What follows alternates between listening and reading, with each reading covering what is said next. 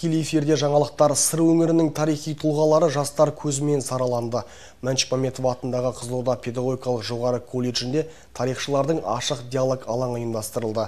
Өткенге тануға негізделген жобаны облыстық дарын қосымша білім беру орталығы қолға алған.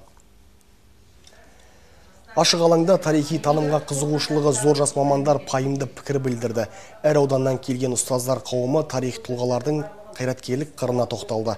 Жан-жақта зерттеу жүргізген баяндамашылар 10 минут ішінде тың деректерді сауатты жеткізуі керек. Ал олар келтірген ақпараттардың дәйектілігін ғылым докторлары мен тұлғатанушы мамандар саралады. Осылайша аға буын мен жас ғалымдар өзара пікір алмасып, болашаққа бағдар жасалды. Айта кетейік, ашық диалог алаңы рухани жаңғыру бағдарламасының өз жерінде танып біл бастамасы аясында ұйымдастырылып отыр көптеген мынау бұрын белгісіз болып кеткен тарихи тұлғаларымыз бар ғой.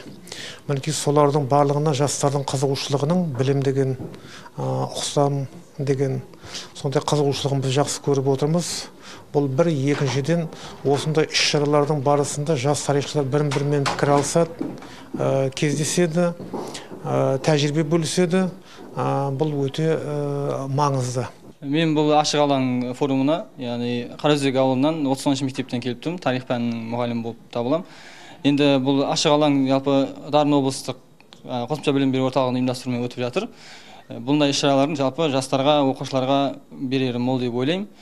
Сондықтан жалпы тарихқа көзқарас бұл кезең кезең бойынша өзгеріп тұрады. Біз енді осы ашық алаңда осы сыр елінің тарихи тұлғаларына байланысты өзіміздің көзқарасымызды білдіреміз.